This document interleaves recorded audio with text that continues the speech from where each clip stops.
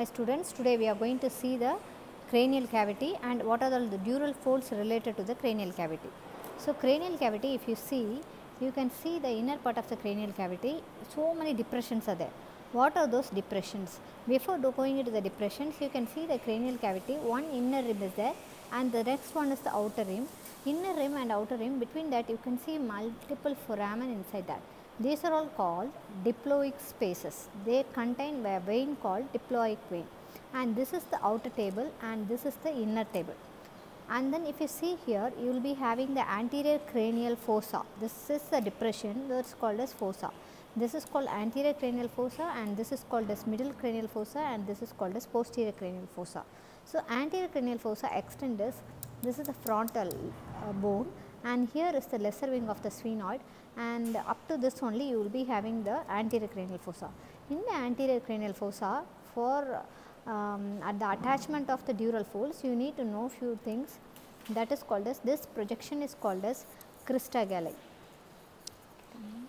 This projection is called as crista galli and this projection is called as frontal crest.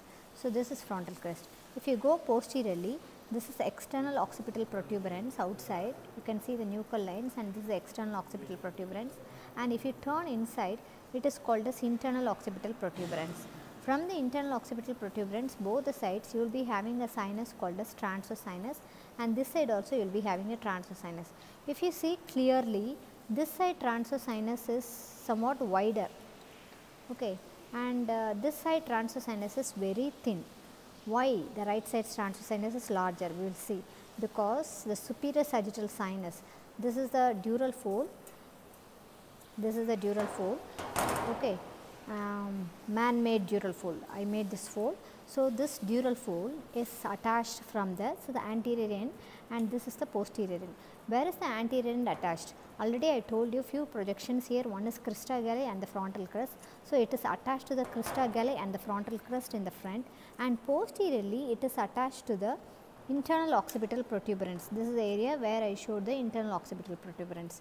Before that, you should know the lobes of the cerebral hemisphere. Cerebrum has two hemispheres. You will be having the frontal lobe and you will be having your temporal lobe here and you will be having your occipital lobe not inside. Don't think that occipital lobe is present inside. It is present on a dural fold called tentorium cerebelli. So, what is this tentorium cerebelli? That is also a dural fold like your falx cerebri. This tentorium cerebelli let me explain first. This is the petrous part of the temporal bone. These two are called the petrous part of the temporal bone. Okay, these two are called the petrous part of the temporal bone and already I have explained the sinuses. Now, I will place the tentorium cerebelli. This has an attached, can you see the red color margin? This red color indicates the attached, means it is attached to the bone. So, now I will place it okay. Before that you should know that something called called as anti this is the lesser wing of the sphenoid it is the projection is here called the anterior clinoid process this is the petrous bone apex. Here it is called the posterior clinoid process. It is not glenoid it is clinoid C L E. Then now I will put the tentorium cerebelli that is a dural fold inside that. And now we have placed this. Okay this see look at the attached border. Attached margin is attached to the posterior clinoid process and the free margin this is the free margin that red color see it is not attached anywhere. So this area is called as free margin and this is called as attached margin. Now attached margin is attached over the transverse sinus both the sides and the petrous bone. So i will put the attached margin here and it is attached clearly and it is now kept.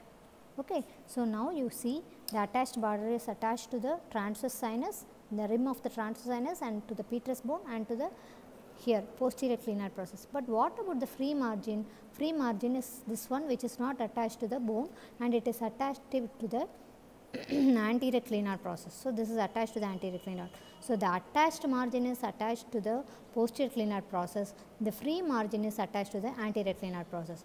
Now, you can see there is a gap inside that through that gap if you see you can see some other foramen inside that is your foramen magnum you can see no right foramen magnum So, what this notch is called as tentorial notch. So, what happens inside this tentorial notch?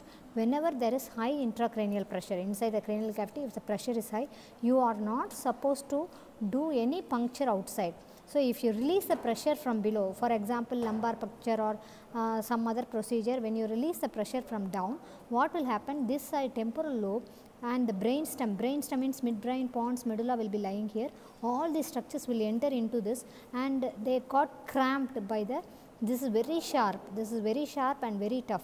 So, what happens, the soft structures will be there and then it will compress, get compressed and it leads to immediate death. That is called as tentorial herniation.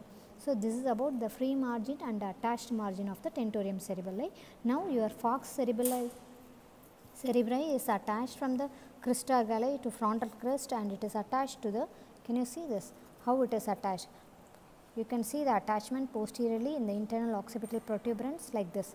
So, this border here in this area you have a sinus called straight sinus. You can see this is a sinus called a straight sinus and here on the superior surface you will be having the sinus called superior sagittal sinus and here you will be having a sinus called inferior sagittal sinus. Now inferior sagittal sinus comes here and it joins with a vein called great cerebral vein of Galen and forms a straight sinus. This straight sinus continues left side as left transverse sinus. Here look at the superior sagittal sinus it goes here and it continues as right transverse sinus. That is all about the tentorium falx cerebri.